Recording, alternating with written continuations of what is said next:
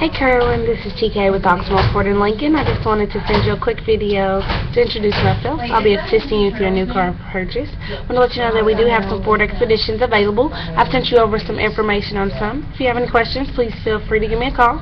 Number is 502-413-3073. Thank you.